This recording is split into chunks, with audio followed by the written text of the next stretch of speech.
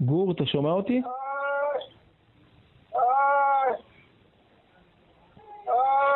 גור? כך נשמע גור המל, שנידון למאסר עולם על רצח פלסטיני בן 68 שעות לפני שנמצא אתמול מת בתאו בכלא איילון. את ההקלטות פרסמנו הבוקר לראשונה בכאן רשת ב'.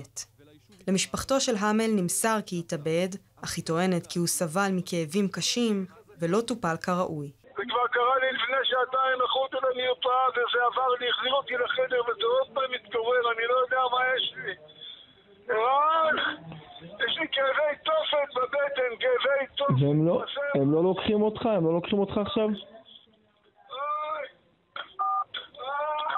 המל ריצה מאסר עולם במשך למעלה מ-20 שנה, אחרי שרצח פלסטיני באמצעות חנק והטחת אבנים בראשו. במשפטו טען המל כי נקם את רצח חבריו בפיגוע. על פי החשד הפתיע האמל את מוחמד זלמות בשעה שעסק במסיק זיתים. הוא חבט בו, הפילו לקרקע ואז רצח אותו במהלומות אבן. את הגופה הותיר על גבעה שוממה שביישוב איתמר. המל סבל מסוכרת, ובתקופה האחרונה התלונן על כאבים קשים ומצב רפואי מסכן חיים. מחר אמור היה להתקיים דיון בבקשתו של המל לקבלת טיפול רפואי דחוף באמצעות רופא מומחה לסוכרת, אך אתמול, כאמור, הוא נמצא מת בתאו. מדובר בטרגדיה של ממש, אירוע שהכתובת הייתה על הקיר. אנו התרענו בפני שלטונות שב"ס בפניות, בעתירות לשווא.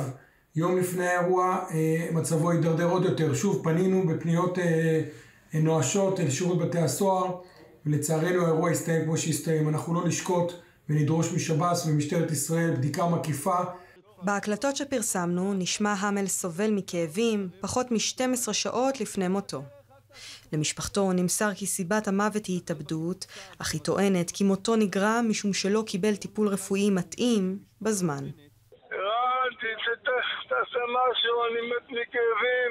מה קרה, אחי? אני מתפתל מכאבים בבטן, מתפתל מכאבים, תעשה משהו, ת- תזעיק מישהו, ת- ת- תתקשר לכל העולם, אני לא יודע, הם לא מטפלים פה באיראן, אני מת מכאבים. מה, מה קרה?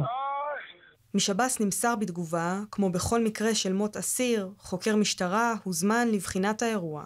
לא נוכל להתייחס לנסיבות המוות עד לאחר סיום הבדיקה.